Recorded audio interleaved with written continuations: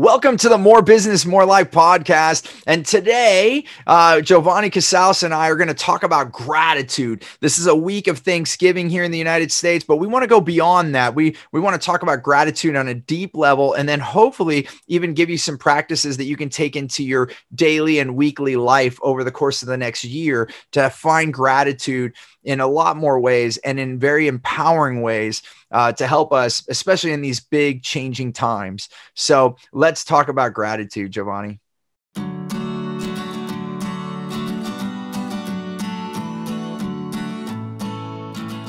All right, Jovanni. So we're going to talk about gratitude. It's this uh, week in the in the United States of America here that we call Thanksgiving, um, and uh, we kind of you know definitely uh, take to the gratitude side of that you know wherever you you know whatever you lie with this this is a time to be thankful.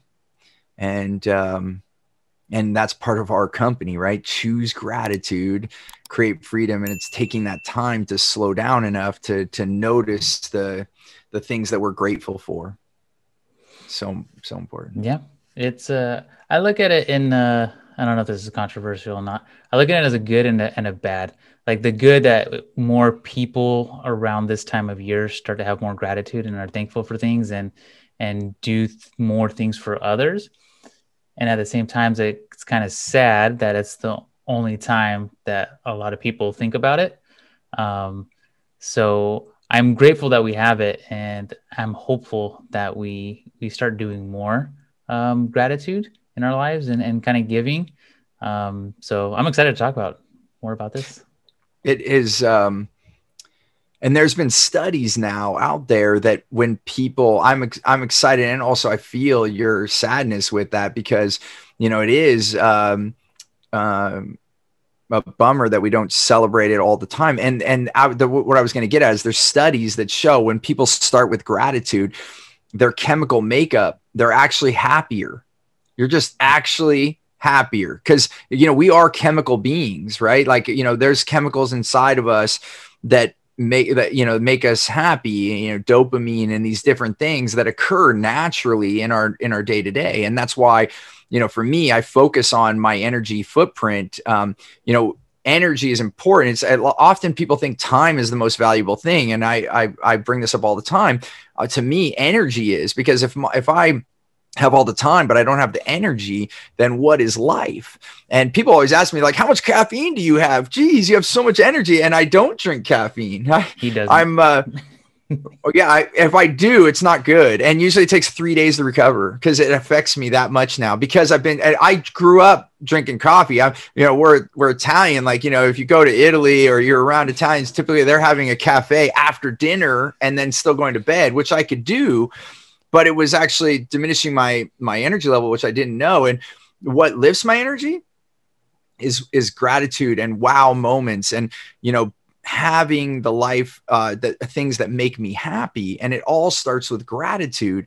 And we even this year uh, thanks to Leticia Reyes, she uh, she uh, suggests something. I've always had gratitude journals and I've done these things, but now as a family, we have a jar, and you probably saw it on our social media if you're following us uh, we that they ju- you just put a piece of paper in there with your gratitude.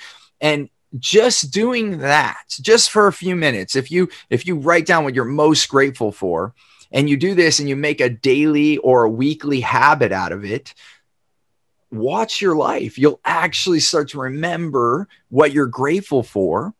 And then it actually allows you to choose more life instead of being grumpy about the things you don't like you know? True.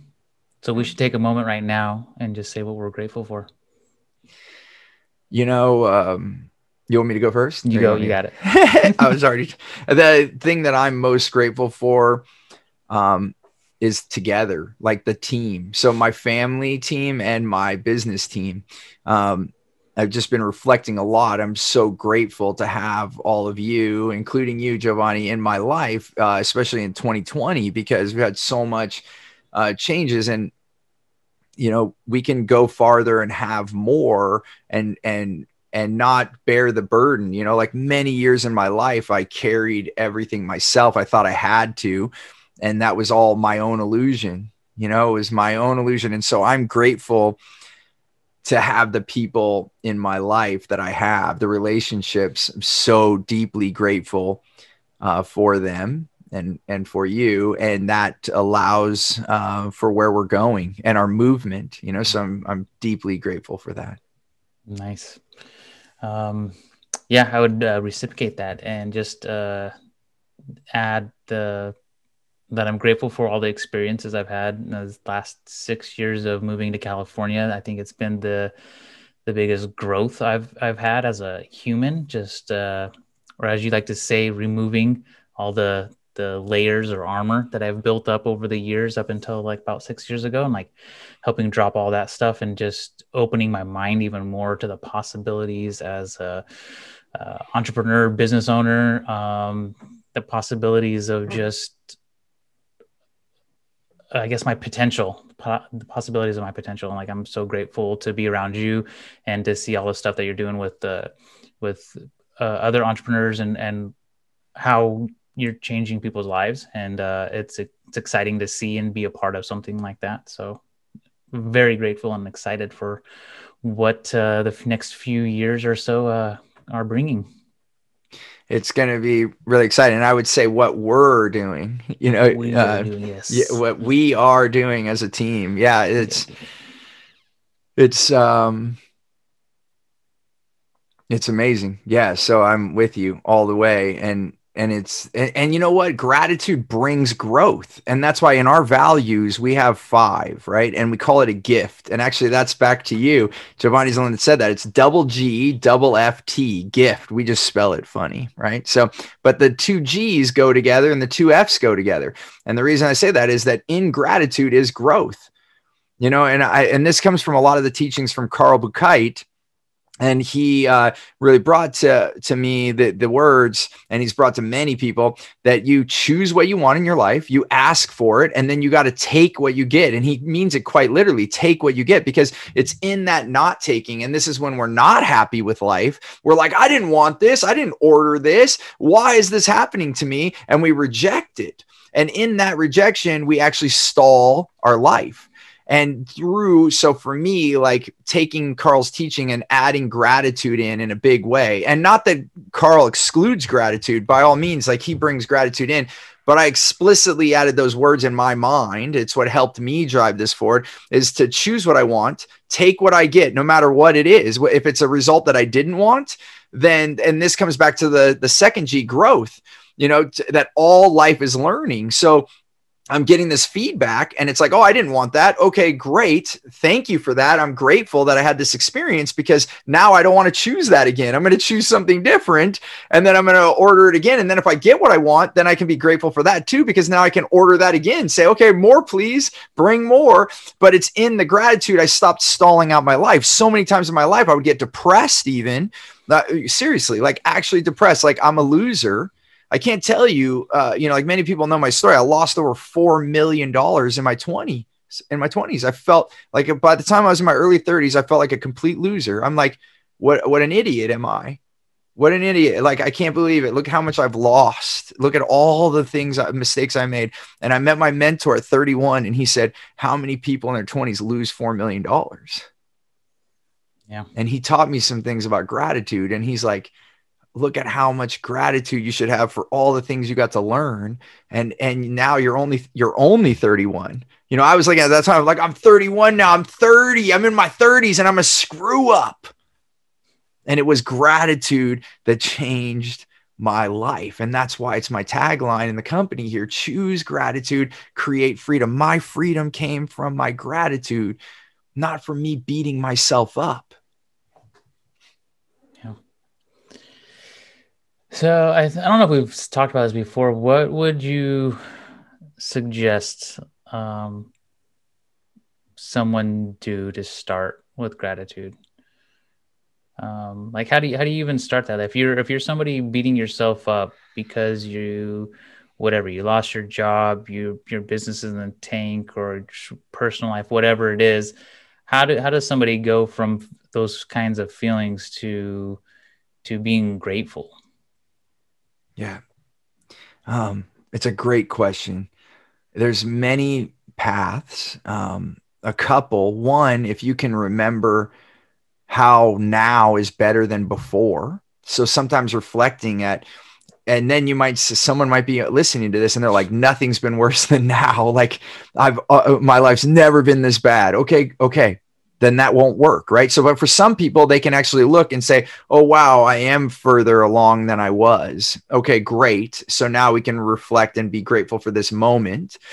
When it's not better and it's horrible and we've had moments um, i've had many ups and downs in my life then then um, you know a little shout out to one of my friends uh, tommy voris we came we, when him and i were hanging out a lot um, we had the five minute wallow. And the five minute wallow was that if i'm having a bad moment to not let that moment take my whole life and what we did is we got a, a, a, journal or a piece of paper, whatever you don't, or if you need to type on your phone, whatever you do, and you set a timer for five minutes and you write down everything you're pissed off about, everything that you're upset or sad, whatever. You just put your feelings down because I think part of it, Jovanni, is that people don't allow themselves to express their feelings. And then that bottled upness just feels trapped. And part of what I've learned from uh, some other people to name off, like Michael Singer, um, goes by Mickey Singer, the surrender experiment, the untethered soul. The thing about what is an untethered soul? A trapped soul is one that's stuck and not allowing emotion to pass.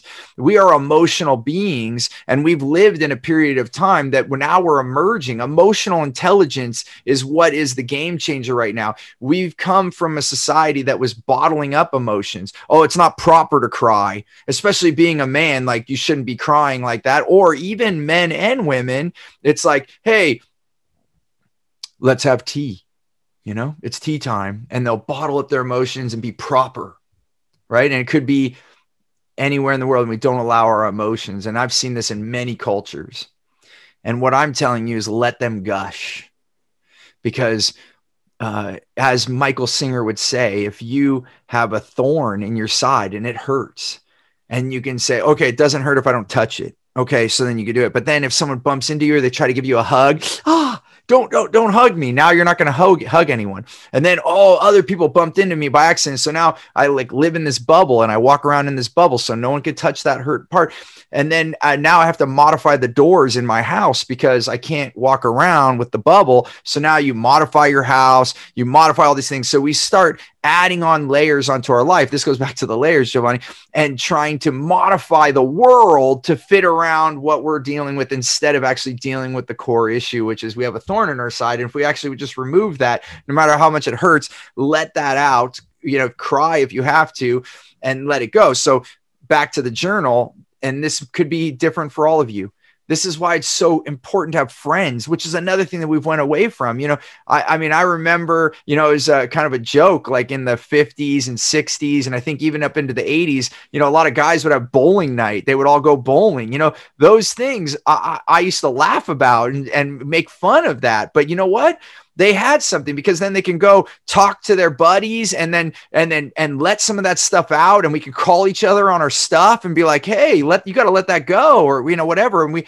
we don't we don't have that. So you know for right now especially with where we are and a lot of people still sheltering in place grabbing the piece of paper writing down how you feel writing down all the things you are and put it on a timer because if you and and if you go past five minutes like at the beginning when i first started doing this i would have more to write about then as I did this as a practice, there were times as I, have done this more and more that I would be done and I'd have like two minutes left. And I'd be like, oh, now what do I do? So the whole idea to be very uh, straightforward get a thing, set a timer for five minutes, write down all the things you're upset about. And then when the timer goes off, draw a line on the paper and say, now what would I like? And then write that down. Write that down. Write down what would you what would you like? So coming back to carl buchheit similar thing. I had done this five minute wallow way before i met carl but carl has it in a different way. He says you know a lot of life is omg wtf and then now what would i like? And so kind of five minute wallow is an overlap with that too because that five minutes is writing down the oh my gosh this just happened. Oh my gosh. Uh, what the wtf da da da da da. You get all that pissed off now and then you draw the line and you say what would i like what would I like? And then come to that. And then in the gratitude, the last part to this is then write down what you're grateful for in that moment. And it might be just the breath that you're taking. It might be that you still have a house. It might be that you just bought groceries. You know, there's times in my life where I was putting fuel in my car and I had to stop. I couldn't even fill the tank so I could have enough money to buy food. I've been there. And then I've been other times where I'm like, oh, did they charge me? I don't see it. Oh, yeah, there it is. I didn't notice that it came out of my account. So I've had both sides of that in life. And and uh and I've had it both ways where I've had that wealth and then lost it. You know, so I've seen it both ways more than once in my life, unfortunately. And also, I'm grateful for that, Jovanni, because uh, at the time I wasn't. I'll tell you, at the time I wasn't, but now I'm like, oh my gosh, I was needed to. I needed those lessons. I yeah. needed them. Yeah, I, am glad you mentioned. Uh, oh wow, is what Carl calls it the acronym. Uh, that that's helped me a lot. The so it's O OMG WTF OK, and I think that's the biggest part. Uh, people kind of brush over is the okay, um, and it's the okay of like it's like okay, it happened. Like now what? Like what? And then what would I like?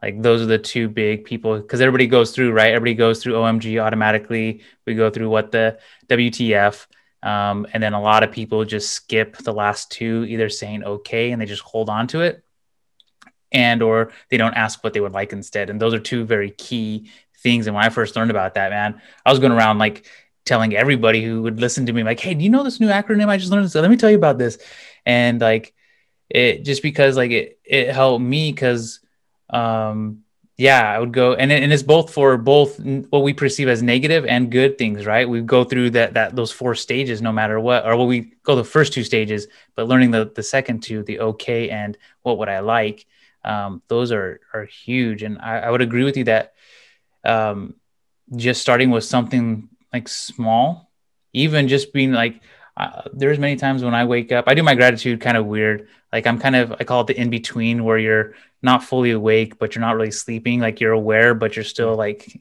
I call yeah. it the in between. And so a lot of times when I'm in the in between, I, uh, I just say, I'm like, I'm like, thank you for this bed. Thank you for like having blanket, right? Thank you for like this shelter.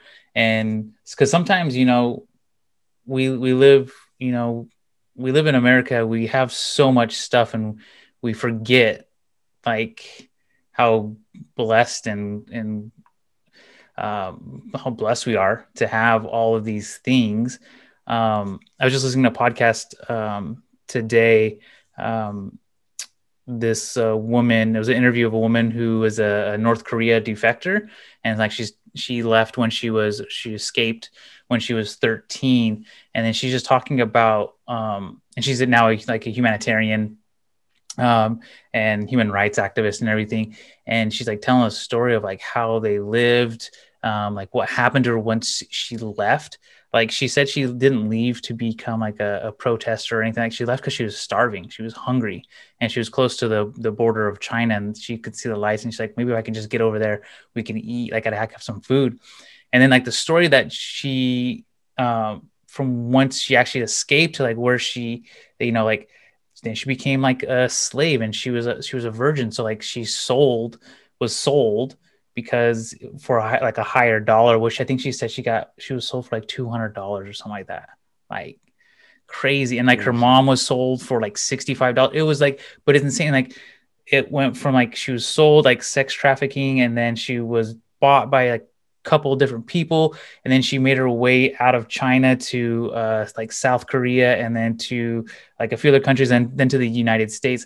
And like she's just talking about like all this hardships. And it's in, it's insane to think about like uh um and i'll get back to what i was coming from but she yeah.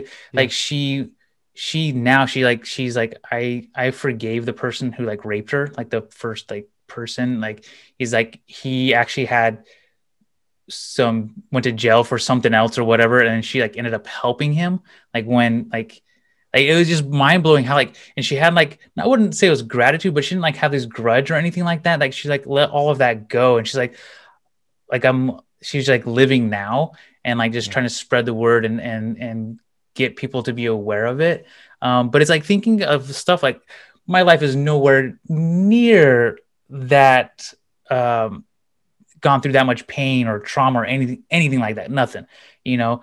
And it's just I, I when i hear stories like that or i look at things i'm just like wow i really have a really i have an amazing i have an amazing life. I'm not where like i want to be right? You know it, right but right. it's like but like i have a really good life. And like i you know i'm i'm grateful that i can stop and and see that and be like wow i'm i'm grateful that we have electricity. I'm grateful that i can do a zoom call I'm grateful that I have a, a, like it's just like this the smallest thing, and even sometimes I'm like I'm just grateful I have fresh air to breathe, like you know. Like, Especially here in California, like that, the yeah. smoke is gone from the fires, and we can go out and breathe. And and you know, this come the, the word for me, and thanks for bringing all this up because it is slowing down that helps the gratitude because you and I have traveled to South America too, and then people will spend hours in gratitude hours you know like uh you know and you and i we uh, had some gratitude ceremonies and had some cacao ceremonies and where we slow down. And i've been actually bringing that into my daily life because you know even how just touching on you just said you know you're not where you want to be. And it's okay to keep dreaming and it really is but we have to live in the the present. And you know based on language too i don't believe there's any coincidence that the present state is a present and it's spelled just the same as a gift. This moment that we have right now that you and I are having on this podcast that that we get to have with our families after this the these moments that we get to have holding that because when we uh, regret the past or we focus on that, like what power she gave herself by letting go of all those grudges, by being mad at people that have assaulted her and in horrible, traumatic ways. Like people can hold that and people do. They hold mm-hmm. that like cancer in their lives for the rest of their lives and they end up harming themselves when we can actually forgive and forget which is hard it's not easy to do for for many of us but we're actually losing our own personal power. We're losing our own thing and this is that whole letting go right? So if we can let go of that then i can be present now. And then and then you also could do the opposite. You could be a big dreamer which i tend to be and we could spend so much time in the future thinking i have to bring ourselves back to this moment yeah. because this is where the point of most power is um, and uh, as Robert Dilts would have, would say, is that that this is the moment right now. Many other people have said it too, but that uh, this this this moment right now. And then so bringing it to a tactical thing, what I've been doing, Jovanni, is like uh, it really came to cacao, like um, and uh, Jonas from Firefly Chocolate really having me slow down and and consume chocolate in a different way because that's been an overindulgence. And I'm talking about no sugar, like just the cacao and it's it's a bit bitter mm-hmm. and but it's so it slows you down and you really bring your gratitude and your awareness of the food and so now what i've done is i've brought that to my meal times so when i eat now i pause and I, you know, because even in life too, we're like go, go, go. And being here in Silicon Valley growing up, I would eat a lot of meals fast and get right to the next task. And now I'm forcing myself every meal that I eat, every, and I have my leftover gu- cup of uh, cacao right here from earlier this afternoon. And I, um, I'm basically uh, I'm going to scrape that out with the spoon by the way after this podcast. That's why that spoon's there. I'll save you the scraping sound. But I um I sit there and you know what I do, Jovanni? I like um I bring myself to the land. So I'm grateful for the land that whatever I'm eating grew off of. Um, I'm thankful for the water that fed it. I'm thankful for, I picture the sun. I'm grateful for that because without those things, we wouldn't have the food that we consume. Then I see, I see the farmers that created that. And some of them, if you eat local, you'll know your farmers. So then I even picture them and I'm like, thank you. Thank you for growing this.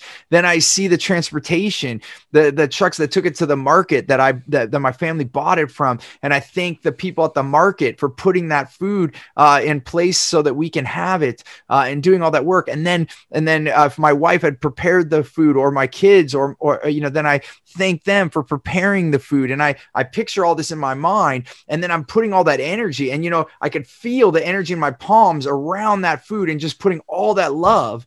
And, and then, and then when I consume it, I slow down you know so much of digestion is in our mouth and i never knew that and so even learning that and slowing down and tasting the food because sometimes i would chew so fast and swallow just to get that uh, the the food so I feel hungry. But now I'm and then I even eat less because I'm allowing the digestion to happen and I'm feeling full. And and I'm really letting this amazing energy into my body and bringing all that gratitude because this is life. And then, just to your point, Jovanni, like how grateful I am to sit at a table and eat a warm meal or have these things that other people uh, may not have the ability to have. And, and there's so much gratitude in that. And then just noticing that in the small things. So, this comes back to, I think, your original question is like, how do you do this when things could be so bad?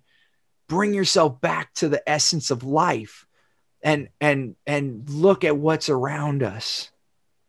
You know it's uh if finding that gratitude and now when things are hard i can find the gratitude quicker. When you're in a storm you know most of the time i find that the presents the gifts that come out of that are are bigger than when everything's calm and so instead of looking at the storm and being mad at the storm, start looking for the present that's in that. Look for the gift that's in that storm and start finding those things and ask yourself, what do you have to be grateful for? That's could be the simple answer right there. So you're you're stuck. What do I have to be grateful for?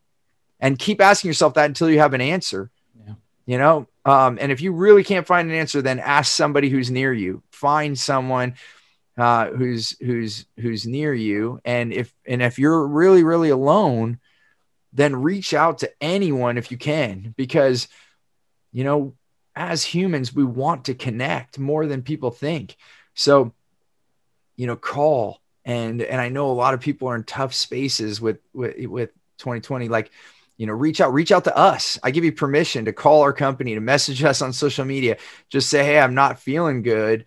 And uh, we're here for you. We're we're here for you. Nice. Yeah. Yeah. Yeah. Hopefully that gives some ideas, Jovanni. yeah. Yeah. No, I, I, I think, you know, there's just so much, uh, there's just so much information out there for everybody. And like, it's always just kind of good just to get to, to know what somebody's doing who's been successful, successful at it. Right. Like, uh, success is different for everybody, but like, it's just good to just to know because sometimes people just they're just stuck right? They just they don't know the first step to take right? And every sometimes even something as we think as little as gratitude can be a huge barrier or a wall. Like i don't know how to be grateful for anything you know? And so just knowing just somewhere to start you know one foot in front of the other kind of a thing is great. If your heart is beating and you're breathing yeah. start there. Yeah. be grateful. Start being grateful for your body. Be grateful for your heart even if you're having heart trouble or you're having medical issues right now, start being grateful for your body, and I'll bet you you'll start healing faster. So start with that. And as we go into this week, I hope you get to cherish the time that you have with your own life, with the family members. And if you're not there with family and you're doing it on Zoom, be grateful, like Jovanni said, that we have computers, that we can call our family. You know, my family came from Italy um, three generations ago, and some of our family members never got to see their mom again, you know, ne- and never got to really communicate with them besides with some letters, you know, like th- how grateful we are for technology that we could pick up the phone and I can talk to my cousins that are still in Italy and I can talk to people in Australia right now and I can, you know, be here on this podcast uh, remotely with you, Jovanni. So just find those things to be grateful for. And then to Jovanni's point, let's encourage everyone to use this as a thing to start now. It's never too late. Start now. Start making a weekly, uh, at least a weekly. Like if every Sunday or every Monday, just pick a day. And then if you write down the thing that you're most grateful for and going to Leticia Reyes uh, jar, get a mason jar or anything uh, and put that the one thing a week, just do it once a week. One thing you're grateful for, put it in the jar, and then uh, uh, and if and start anytime now, and then basically after at a year, pull them all out. And so we're going to do it. My family are going to do it on the winter solstice. So on December 21st, that's the winter, that's the the shortest day of the year which is a time to reflect, right? It gets dark sooner. Let's slow down. The winter months uh, for us in the Northern Hemisphere it's a time to slow down, to reflect, use that time to reflect on those things. And even if you're starting now, okay, great, start now. And then next December 20, uh, whatever it is, it's usually around the 21st, 22nd, somewhere around the winter solstice. Then, um, actually, I think I have it here. The winter solstice is on the 21st again next year. I think we were just looking at that because I'm actually planning that as a little holiday for my family. And then we're going to open that jar again and we're going to read what we, and it, I, I guarantee you're going to be like, oh my gosh, I can't believe I was grateful for that. Oh, I forgot about that. Think how much you're going to go into the holidays with remembering your whole year of gratitude. So I just want to impress upon you and thank you, Leticia, from uh, 109. Uh, they, you know, uh, I've had a lot of different gratitude exercises, but this has been really fun. And my daughter is like excited. She's like, Dad, when do we get to read them? When do we get to read them? I'm like, like December 21st. yeah, December. And it, yeah, and she's excited about the ding, the jar, right? And you could think, hey, it's just a jar with paper in it, you know, but, and it is, but there's so much love in that jar. No wonder she's gravitating towards this, probably beaming energy out of it. So, so that's what my suggestion would be of where to where to start, Jovanni. Sounds good, man. Awesome. Okay, well, this has been an awesome episode, and we'll have a few more of these. We're going to start peppering these in with uh, Jovanni and I and some of our team members. So look forward to those episodes. Have an amazing uh, Thanksgiving, and wherever you are in the world, be grateful. As we say, choose gratitude and create freedom. We'll see you on the next episode. Happy Thanksgiving.